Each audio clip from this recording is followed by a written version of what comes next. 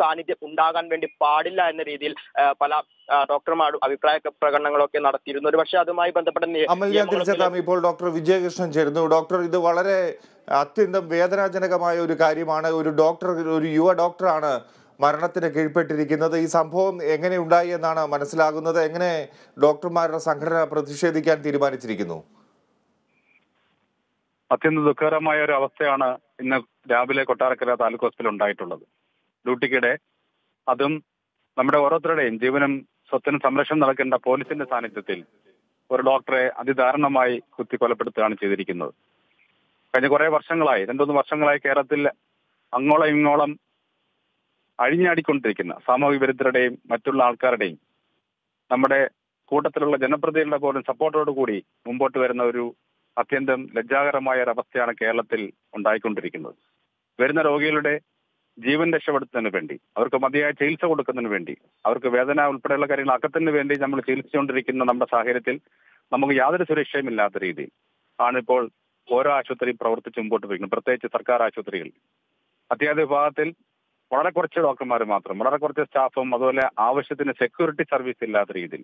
ഉണ്ടെങ്കിൽ പോലും നമ്മൾ കണ്ടതാണ് അവരെ നോക്കുകുത്തികളായി നിർത്തിക്കൊണ്ട് തന്നെ ഒരു ഡോക്ടറെ തെരഞ്ഞു പിടിച്ച് അതിക്രമിച്ച ഈ സംഭവം ശരിക്കും ഒരു ഇത്രയും വിദ്യാഭ്യാസ സമ്പന്നമായ കേരളത്തിൽ ലജ്ജാകരമായ ഒരു അവസ്ഥ തന്നെയാണ്. ശക്തമായ പ്രതിഷേധത്തിലേക്ക് കടക്കാതിരിക്കാൻ യാതൊരു മാർഗവും നമ്മൾ കാണുന്നില്ല. പല രീതിയിലുള്ള പ്രതിഷേധങ്ങളും മറ്റു കാര്യങ്ങളൊക്കെ നമ്മൾ നടത്തി മുമ്പോട്ട് പോവുകയും ഇതിനുവേണ്ടി ശക്തമായ നിയമങ്ങൾ ഉണ്ടാക്കുകയും നിയമങ്ങൾ ശക്തമായി പരിപാലിക്കപ്പെടണമെന്ന് നമ്മൾ പലതവണ ആവശ്യപ്പെട്ടിട്ട് പോലും അതെല്ലാം കാറ്റിൽ പറത്തിക്കൊണ്ട് ഡോക്ടർമാർ ജീവനും ആശുപത്രി പ്രവർത്തകരുടെ ജീവനും യാതൊരു വിലയില്ലാത്ത രീതിയിൽ ഒരു സംസ്കാര കേരളം മുമ്പോട്ട് പോകുന്നത് നമുക്കൊട്ടും ഭൂഷണമല്ല. നമ്മുടെ വരുന്ന സാധാരണ രോഗികൾക്ക് ചികിത്സ കൃത്യമായി കിട്ടാത്തൊരവസ്ഥയിലേക്കാണ് ഇക്കാര്യങ്ങൾ മുമ്പോട്ട് പോയിക്കൊണ്ടിരിക്കുന്നത്. പലർക്കും പല നല്ല രീതിയിൽ പുറത്തും രാജ്യത്തിനും പുറത്തും രാജ്യത്തിനും അകത്തുമുള്ള മൾട്ടി സ്പെഷ്യാലിറ്റിയിൽ ചികിത്സിക്കാൻ സാഹചര്യമുള്ള സമയത്ത് നമ്മുടെ സാധാരണക്കാര ജനങ്ങൾക്ക് ചികിത്സ കിട്ടുന്ന സ്ഥാപനങ്ങളെ അരക്ഷിതാവസ്ഥയിലേക്ക് മാറ്റുകയും നമുക്ക് സുരക്ഷയില്ലാത്ത രീതിയിൽ ഡോക്ടർമാർ എങ്ങനെ രോഗികളെ പരിശോധിച്ച് ചികിത്സിക്കണമെന്നാണ് നമ്മുടെ സമൂഹം യഥാർത്ഥ സമൂഹം മുമ്പോട്ട് വെക്കുന്നത്. ഒരിക്കലും നമുക്ക് അത് അംഗീകരിച്ചു കൊടുക്കാൻ സാധിക്കുകയില്ല. പലതവണയായിട്ട് പലപ്പോഴായിട്ട് ഐ എം എയും കെ ജി എം ഐയും കെ ജി എം സിറ്റി ഉൾപ്പെടെയുള്ള സംഘടനകൾ മുമ്പോട്ട് വെച്ച പല കാര്യങ്ങളും കാറ്റിൽ പറത്തിക്കൊണ്ട് നമുക്ക് യാതൊരു സംരക്ഷണം തരാതെ തന്നെ ആശുപത്രികൾ മുമ്പോട്ട് പോകുന്ന സാഹചര്യം നമ്മൾ ഒഴിവാക്കേണ്ടത് തന്നെയാണ്. അത് ഇനിയും ആവർത്തിക്കപ്പെട്ട് പെട്ട് കഴിഞ്ഞാൽ ശക്തമായ പ്രതിഷേധത്തേക്ക് പോവുകയും ചെയ്യും. ഇപ്പോഴത്തെ പ്രതിഷേധവും ശക്തമായ രീതിയിൽ തന്നെ ചെയ്യാൻ തീരുമാനിച്ചിട്ടുണ്ട്. കേരളം ഒട്ടാകെ ആശുപത്രിയിൽ നടന്നു കിടക്കുകയാണ്.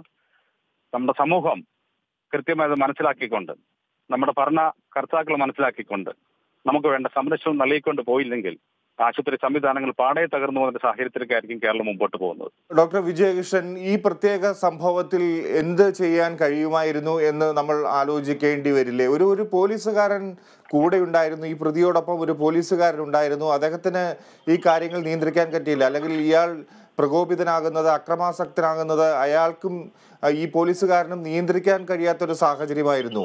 നമുക്കറിയാം പല സംഭവങ്ങളും ഉണ്ടാകുമ്പോഴും രാത്രിയിൽ പ്രത്യേകിച്ച് രാത്രിയിലും മറ്റുമാണ് ഇത്തരത്തിൽ മദ്യപിച്ചെത്തുന്നവരും അല്ലെങ്കിൽ പ്രതികളുമായി എത്തുന്നവരെ ഒക്കെ പരിപാലിക്കേണ്ട ചികിത്സിക്കേണ്ട ഒരു